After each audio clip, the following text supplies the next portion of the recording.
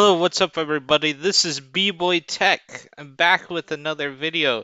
Today is a different type of video. Today we are going to be talking about an application called Automate, which if you guys don't know what that is, that is an application that you can use to automate different apps. So automation is where you basically write a program that or a script or a flow or if you used frep before you write that so then that way it does it for you. The phone does it by itself. Some people that do this phone farming community does automation. Some do not. Some believe it is what is killing phone farming. Some do not. I am on the fence. It depends on multiple different variables with ad providers, of course, too. So, you know, we don't know what actually kills them. Some people could say automation is, but then I say look at Cash Magnet. And someday I'll be talking about the difference between automation and Cash Magnet, but today is not that day. So today here we got the Automate app right here. Now if we go in and click on open, I also want to say, you know, phone farmers unite. Uh, you know, multiple different YouTubers. If we unite together, it's better than staying separate apart.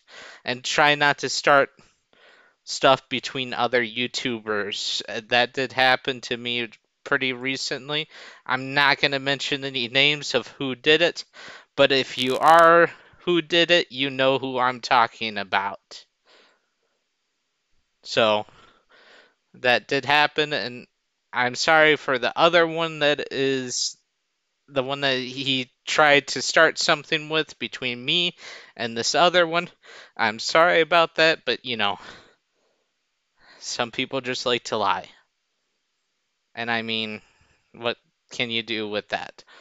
Uh, over here, you can see some of my computers actually and stuff making money in the background over behind me. So, you know, nice little thing. So what we're going to do is we're going to go and jump into the Automate app. You can see right here, they give you a couple flows to start with. Um, I don't really use these ones. Real quick way, if you want to go and clean up, you can go and click on the flow, click on those three dots, and click on delete, and then delete again. And then you should see that flow deletes. We're going to go and do that for all these.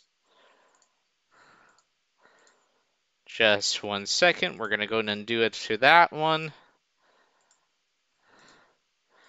And do it to that one as well too. Now, to create a flow, you're going to go and press this plus sign down there. And you can go and bring that up. It doesn't really matter, but this is the flow beginning. That means this is the start of the flow. Uh, you can see the title name is untitled. You can go and change that name if you want to. What I'm going to go and leave it as this because this is just going to be a flow to show you guys how you guys can use Automate to maybe help you guys and to better do stuff. Another good application to have if you're going to do the whole automation thing is current activity. You will see that every time you go to another application, it will change and shows you what is currently on your screen of the phone. Now, this is an emulator here, so this isn't actually a real phone. This is just a virtual phone that I'm going to be showing you guys how to use Automate. Now, if you click on the plus, you can see you have a lot of different actions. The main ones that people use, eh, if you want to, I'll go and do this, is app start, which is under start. You can see there's a lot of other ones. So we're going to go in and click on that. Package means the name of the applications. So if you wanted to say open the let's go and go down a bit. Settings application. You're going to go and press that. Go here, connect it up, and that's if that's all you wanted it to do, you go and press that go, and it opens it up. Now, we're going to take it a step further and we wanted to go and try to click that apps once we do that. So if we're going to go back into our flow, back into here, the main thing that we're going to use is called interact. We're going to go in and click on that. Click on this. Press record. It's going to ask you to give permissions, so then that way it can do this. We're going to press that button. We're going to go into the settings app. And we wanted to hit that apps down there. So we go and do that. We're going to go and see if it recorded the apps part. Hmm. And looking at it, it did not. So what else could we do? Well, we can go and test to see if we tell it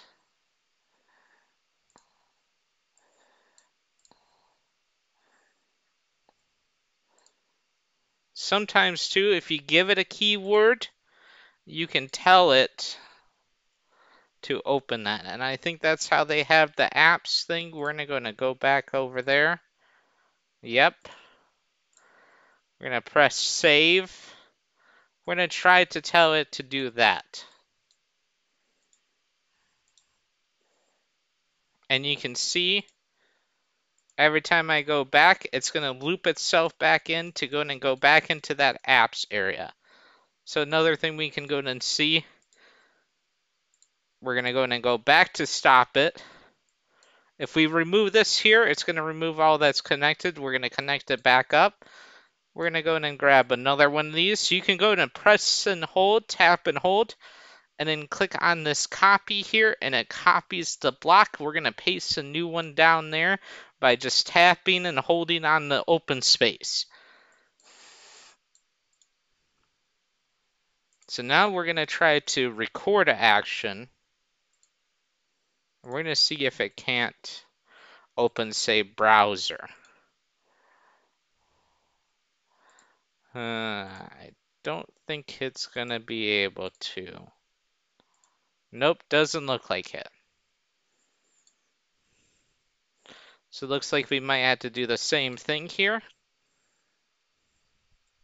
I know there is some sections where you're able to do stuff like that and some that you are not in apps. Another way to do it is the interaction touch, which you need 7 up of Android or a rooted phone if below to be able to give a XY, XY coordinates of the click to go and have it click on that.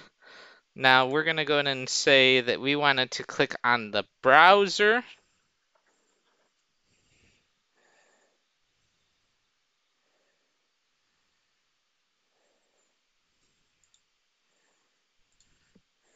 So we're going to go back over here, go and type it in. Oh, there we go.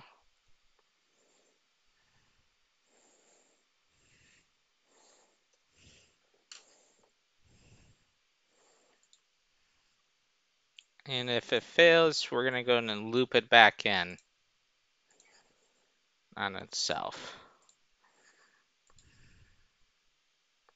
And we can see here that it went ahead and opened back up to here.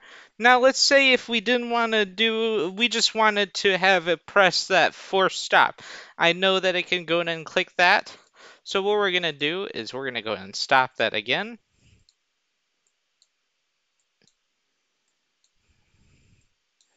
remove those lines. We're going to go in and uh, paste this here again. Since we already had it copied, we're going to go and record action. We're going to press that force stop, press OK, go back into here. We can see the OK. See how that says OK? That was the last thing we clicked on.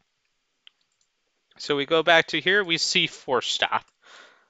So then we can go and copy a new one of those because we need two steps in this. And we'll go ahead and do the same thing and tell it OK. Now another thing we can do is if this fails, we go back to that areas until it's able to do that.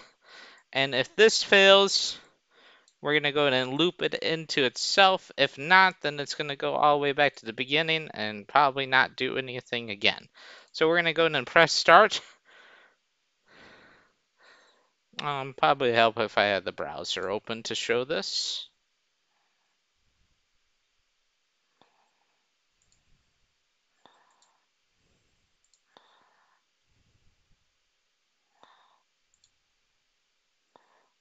Yep.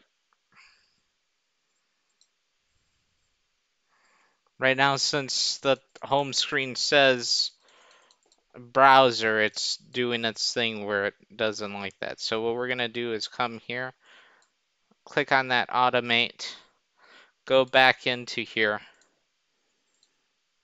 and we're going to do, we're not going to loop it if it's done. So there we go, it stopped it. And now if we go and go back into automate, you can see it's not running. If it's running, it's going to show that plus one every time it's running. So you can see oh, it's looping because it can't press that force stop. So we're going to go back into here and see how we see that plus one, which means it's looping back and forth or it's running an action. So that's going to be our quick little thing of automate. Also, another thing as well too, I'm going to keep saying this, phone farmers unite. We need to stick together if we have YouTube channels. You know, mine is, you know, if one wants to message me to, you know, say anything as well too, why he did it. Otherwise, you know, don't know. But he knows who he is, you know, if he's watching my videos at the moment. But, you know, just happened just recently. I'm recording this new episode, probably going to be out the same day. So, I would like to say thank you guys for watching. Stay safe out there, and peace out.